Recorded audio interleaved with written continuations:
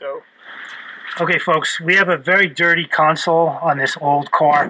So traditionally, you'd get in here, you'd blow this out with compressed air, you'd use a toothbrush, you'd have to loosen some of that dirt, get in there with a toothbrush, wipe it up with a microfiber towel. So the steam on the Chief is going to act as its own compressed air. Right now, I have no chemical sprayed in here, so we're going to see if we can get this all with just the steam. I'm using the single hole nozzle. Single hole nozzle acts a little bit more like a blaster. So we have a lot of dirt in where the emergency brake lever is. There's a lot of dirt in where these cup holders are, the seam where the shifter is. We want to get that out. This front cup holder, the chain hole, the change holder. So I want to blow all that out and then follow it up with the towel. So I'm going to try and wipe. I'm going to cup my towel so I don't blow stuff all over the place and try and blow a lot of the excess into the towel and then wipe as I'm going along. So I'm going to work myself from back to front and see how we can do. My steam pressure is a little less than half. So here it's not about gigantic pressure. We're just trying to get everything out of here. Now the steam is also going to block my view. So it's going to be a little difficult to see.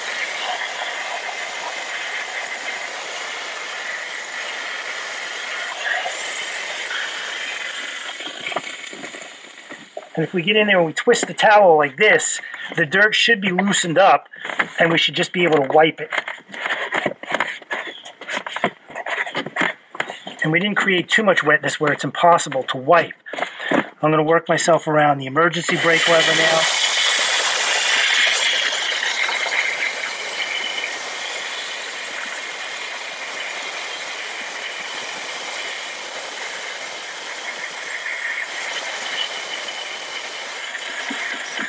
At the same time, I can peel the seat back.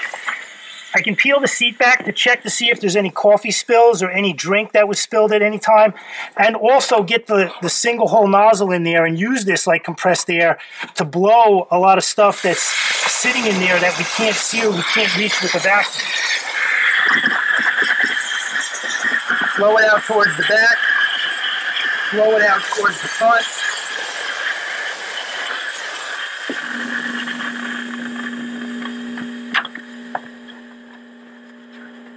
Keep working our way to the front.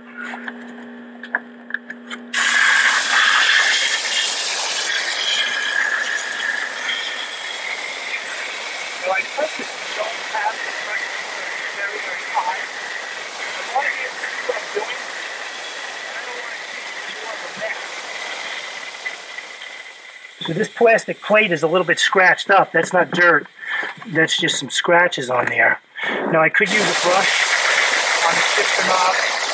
See how it comes out, flash, so I can just spray with some steam and then aggressively wipe it with the towel. Now I come over to my change holder.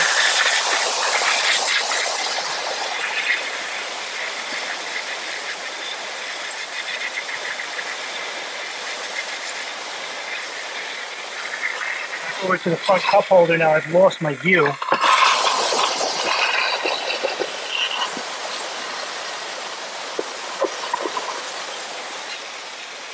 And again, we get in there with our towel and just wipe in circles to try and pick up the dirt that we've loosened. And in the change holder, we just have to get our fingers in here. Now, some of these older plastics, if we were using a brush and really trapping the steam onto the surface, you can discolor this plastic because this is an older car. By blowing it with just the nozzle, we're not creating as much heat, so we're not going to damage that plastic surface. That's what you have to watch out for on some of these older cars with the cheaper plastics. So we've been able to get in here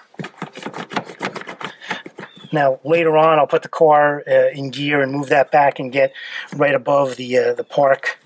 We, we always want to move that shifter level lever back a little bit. But for the most part, we came in, made pretty quick work of this, other than some just a little bit of dust flying back into the area. We've got that pretty good. And we've got this back cup holder, which was really dirty. We've got that pretty good. So the seams in here by the emergency brake lever, we've got all that pretty good. We've blown out the side of the seat. We'll come back, clean the seat later. We'll come back and we'll see, we'll uh, clean the seat back belt holder later also. There's a lot of dirt in there. There's some dirt on the side, but this was just the one section. We did the uh, center armrest before. So the plastic is not in the greatest condition. It doesn't have a factory gloss on it anymore, but the bottom line is it's clean. Okay.